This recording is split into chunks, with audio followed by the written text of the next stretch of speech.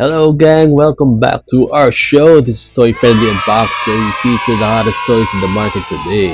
And uh, for this episode, um, naalala nyo, nagkaroon tayo nung uh, feature, episode 260 if I'm not mistaken. Yung feature natin about uh, Starzinger na show na anime and yung uh, protagonist doon na si Jan Kugo and the Star Crow vehicle. So, yun yung in-unbox natin kasi nag-release ang action toys ng uh, character set including Jan Kugo. Famous siya sa Starzinger na anime. So, one of my favorite animes growing up. So, na-feature natin siya noong 260 episode 260. So, hindi na naman siya yung characters doon. 'di ba? Hindi lang siya yung ano, yung main. Siya yung well, siya yung leader ng team pero meron pa iba mga characters doon. And yun ang i-feature natin. Isa doon ang i-feature natin. Right now, i-unbox natin si Don Haka and the Starbood vehicle. Yan. Kita-kita naman. So, doon sa mga nakaka-relate, no, itong uh, show na to, parang Three Musketeers in Space yan. So, meron silang kanya-kanyang powers na, yun, parang ginagawa nilang glider tong spaceship nila. Anyway, makikita nyo sa Google yun. I-Google nyo na lang, makikita nyo. It's a fun show. It's, uh, you know, during the time of uh, yung mga super robots and other mecha 70s shows, kasama sila doon, yung era na yon. Anyway, medyo obscure, alam ko, pero dun sa mga ka-age ko, uh, pretty sure uh, alam niyo itong mga show, itong show na to, particularly in Star Zinker. So, yan, magkakaroon tayo. Magiging masaya tong ano, review natin and unboxing. So, eto yun. This is what we are going to be unboxing on today's episode. But before anything else, as always, please like, comment, subscribe to our channel. And don't forget to hit that notification bell for announcements on future unboxing episodes and other fun stuff, mga contest. Minsan nagpapa-contest tayo, so uh, stay tuned. Watch out for, for those uh, promos. And also, if you want to buy toys like these, meron tayong online store sa Facebook, which is www.facebook.com slash toyfriendly and uh, talagang bisitahin nyo yun lagi kasi marami na madalas may mga pre-orders and uh, yun, para mauna kayo and uh, marami kayong mga di-discover na new toys and uh, baka maging hobbyist din kayo kagaya namin. So anyway, without any further ado, here we go.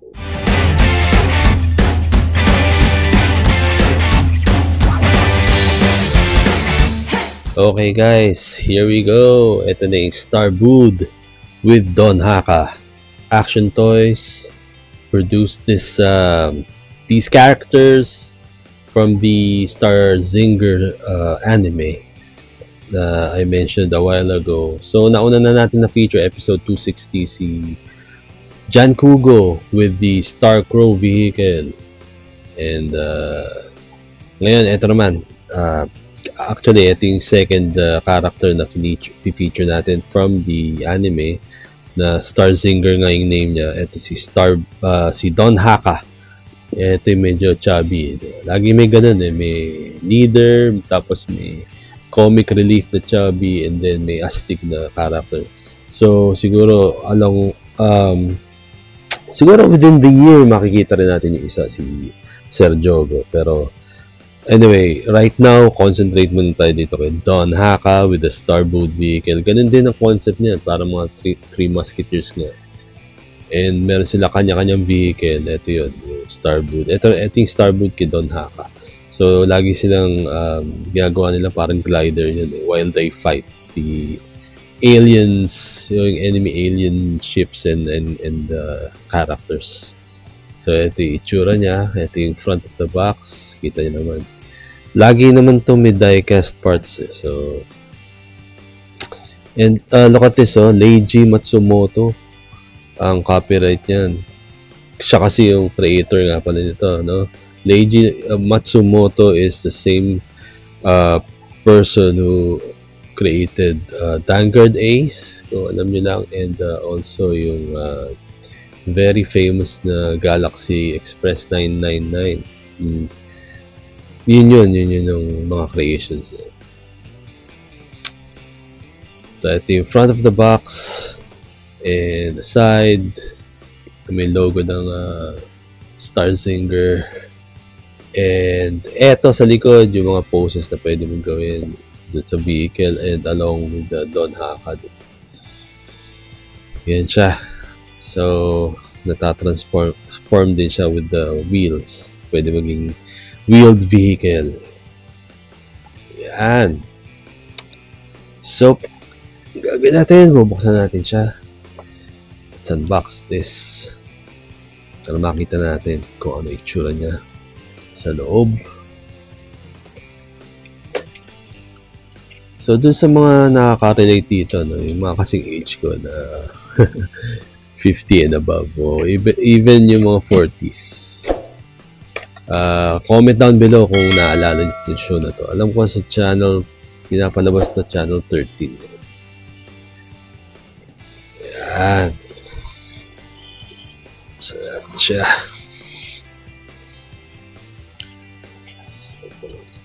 Similar to the Star Crow no, na toy. Nasa loob nitong ano, one sheet. Ayan. Ito. Mga instructions kung paano nyo well, dun sa mga parts ni Don Haka, yung weaponry, and uh, also for the vehicle itself. Ayan, nagtatransform siyang konti. Ayan, kung paano lagay ito sa base. Kasi may base to lagi. So, yun. Mamaya, tingnan natin siya ulit pag uh, a-assemble na natin the base. Cool, cool. Ito na siya. Tapos, uh, unahin natin yung vehicle. natin siya.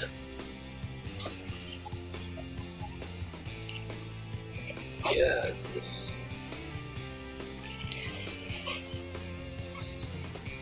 Okay. Medyo masikip. Okay, ayan, mabigat siya. Mabigat siya, guys. Kasi nga may die-cast parts. Yun ang mahabula din natin dyan eh. Wow! Look that. Colorful eh. I mean, very bright and cheery colors. Oh. Ang ganda. Wow. Yan, diecast talaga siya. Nice. Yan, likod. Okay, and then tingnan mo natin, tingnan natin si Don Haka. Tingnan natin yung itsura niya dito. Nakatago siya eh. yeah, ups, naka-plastic. Naka-tape. Yun. Yes, din.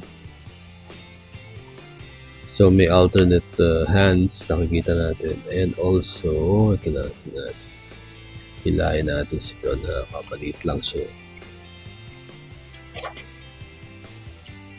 Si Don Haka PVC. No? Yun no? Ang kulit na itsura. Parang, ano, no, Green Mega Man. Tapos ang taba. Eh, ma-articulation din naman kahit pa Ang kulit na itsura. Oh. okay guys, ito yun. Starboot with Don Haka. So, pinasok ko yung, ano, yung seating Don Haka version ng sa loob. Mamaya pakita natin. So, ito ang tinatawag land mode ng Starboot. Complete with drills and satellite. So, ito, first things first, nakita niyo ilalim, ba? May gulong.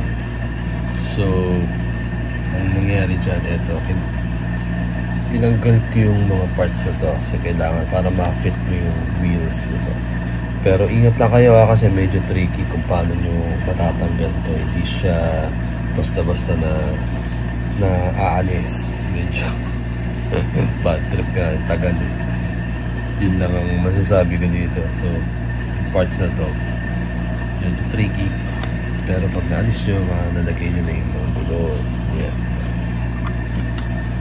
So again, ito yung logo ng ano, Star Sync.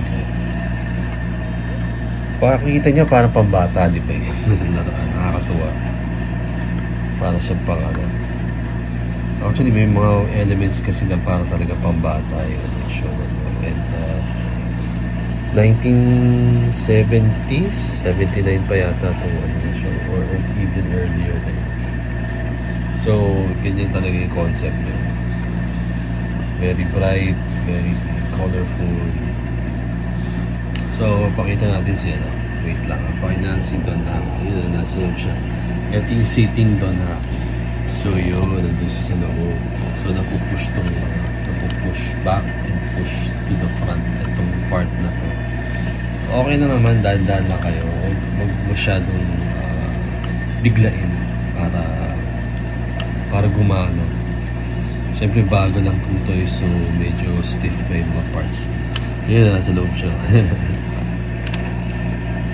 so, normally, para siya si John Kogo din pag malaban sa mga alien warships and alien uh, creatures. So, lumilipad sila talaga. Pero ito yung land mode mo. Pwede, pwede, pwede, pwede mo siya i-roll sa kung gusto nyo maglaro. pwede siya. Pwede siya maging kutsi-kutsihan. Yan, complete drill pa pag land mode. So, ang gagawin naman natin, yung common pose niya ay nakapatong dito. So, meron siyang separate na uh, Don Haka figure. Kita niyo, yan, yan ang mga weapons niya, di ba? May, may mace and shield. Diba? Kulit, no? Parang ano talaga, hindi siya yung pang mature audiences, pang mga kids. So, kakabit natin siya doon. Tingnan natin kung ano. Okay guys, so ito na siya. Din-display na natin. Nakatayo na siya dun sa, ano, yan, sa spaceship niya the Starwood, si Don Haka, and complete with the base. So, base niya, plastic lang. Mas maganda yung base to, ano, tingin. Or pareho lang. Pero plastic lang siya. Ang diecast talaga dito is yung spaceship, full diecast. And uh, si Don Haka, yung figure, is PVC and uh, ABS combined plastic. Yun. And uh, kita na naman napaka cool and uh, wala siya masyadong transformation eh, kay uh, Star Crow ni John Kugo matatransform pa konti may namumove ka pa parts. Pero dito, dito naman ang namumove lang is yung sa cockpit. And uh, konting nitpick lang ano. So si John Kugo madali mong mas uh, mapatayo eh. Dahil may magnet dun sa ano niya, at least meron kahit pa paano may magnet dun sa sa feet. Dito kay Don Haka ang technique lang is iipitin mo siya dun sa ano para may konting steadiness sa position niya otherwise malalaglag yan and also itong sa mace niya no, pag uh, hindi niya masyadong nagigrip yung mace so ingatan niyo na baka mawala yan yan complete the shield And kung gusto nyo, ito isang tip pa. Kung gusto nyo mai-attach yung satellite niya pa rin nang hindi bumabaga sa puwitan niya, eh, i-reverse nyo yung. Yeah, i-reverse nyo para lang uh, masabi na included pa rin siya sa Pwede naman siya paharap kaso baka bumangga din sa sa, sa puwet ni Don Haka. Ayan. Wala. Cool. This is uh, for completist dun sa series ng Starzinger. So definitely a must-have for the fans of Starzinger and uh, any similar anime ng 1970s Super Robot era. So kailangan meron ka nito, di ba? Ang ganda. Mabigat and uh, mabigat din pero nga, uh, masasabi ko lang is hindi ito ma-appreciate ng mga common anime fans. Especially the fans of today. Gen Z, nako, makapagtawanan tayo dito. Pero pag yung fan ka ng 70s anime, yun, pasok mo sa collection. There you have it. This is uh, Starboot vehicle from Action Toys with Don Haka, part of the Star Singer series. And uh, isa na lang inantay natin si Sir Jogo. And uh, yung vehicle niya. So pag nakompleto natin yan, syempre magkakaroon tayo ng special episode na uh, included silang tatlo para makita natin and makompare natin uh, one from the other kung ano yun, kung consistent ba yung design niya, kung magkakabagay nga ba sila I'm sure bagay naman talaga yan. Dahil isang show yung pinanggalingan ng isa creator and there you go. This is Don Haka and uh, with the Star Boot yeah. cue for montage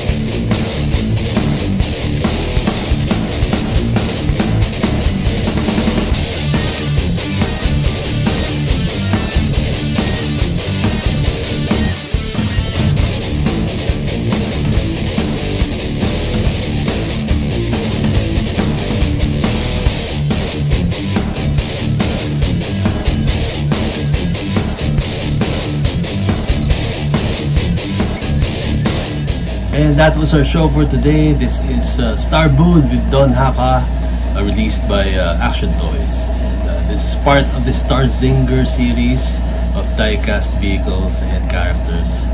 Uh, mostly diecast vehicles. So I hope you enjoyed the episode today. Thank you so much for watching. Please like, comment, subscribe to our channel.